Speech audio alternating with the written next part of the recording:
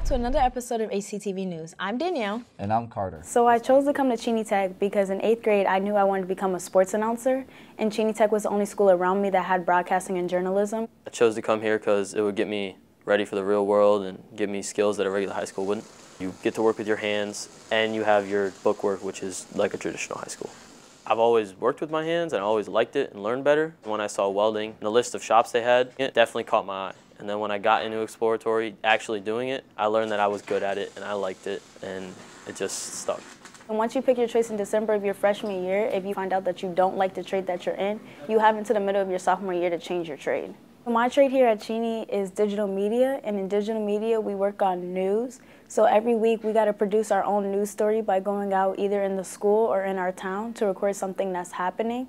And at the end of the week, once we get all the news stories from all 11 students in our class, we produce HCTV News for the student body. So Cheney Tech is a technical school uh, located in Manchester, Connecticut. We serve the needs of about 35 sending towns.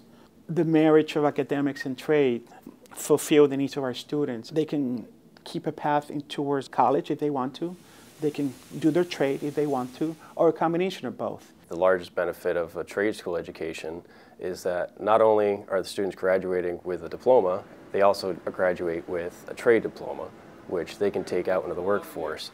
So at Cheney Tech, we have carpentry, HVAC, manufacturing technologies, diesel technologies, automotive. These are all highly sought after skilled trades. So our school year is just 182 days, just like any other regular high school. Students alternate between academics and shop, spending usually a week or two in each.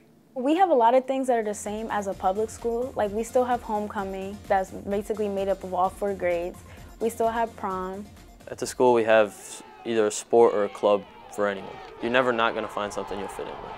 I do football in the fall, I take the winter as a break, and I do track in the spring.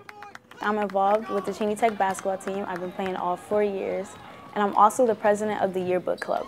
We have a celebration every month called Multicultural Day, so it's really nice that we get to celebrate everybody's cultures.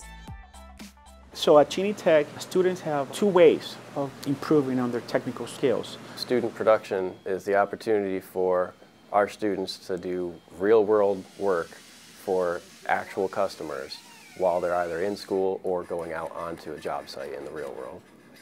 Work-based learning is the second opportunity that students have to improve on their skills. Work-based learning is an opportunity for them to go out into the workforce, they're getting paid, and they're actually able to sign themselves out of school. And instead of coming into shop, they go right to work. There are several of my students that are planning on going into post-secondary education. The companies that they work for have tuition reimbursement, so their companies are actually going to pay for them to go to college and they'll still be making a full-time paycheck every week.